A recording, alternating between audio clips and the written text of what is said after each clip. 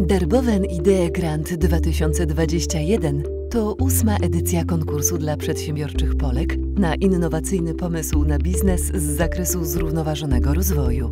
Nagroda główna to 100 tysięcy złotych. Laureatką jednej z edycji została Małgorzata Cykowska-Błasiak. Nazywam się Małgorzata Cykowska-Błasiak, jestem laureatką szóstej edycji Darboven Idee Grant.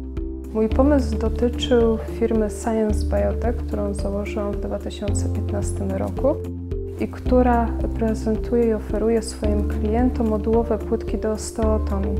Nagrodę, którą otrzymałam, przeznaczyłam na liczne badania oraz analizy, które są konieczne do wykonania moich płytek do osteotomii oraz wdrożenia ich w przemyśle.